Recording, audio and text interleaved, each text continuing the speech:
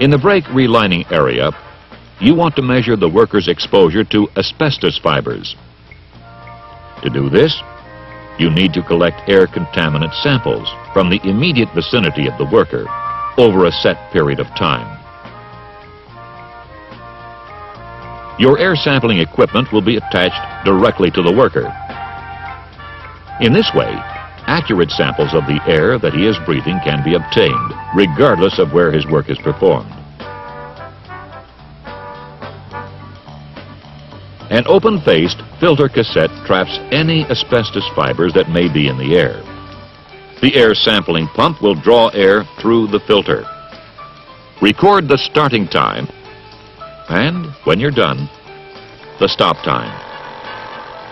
In between, check the flow rate on the pump periodically.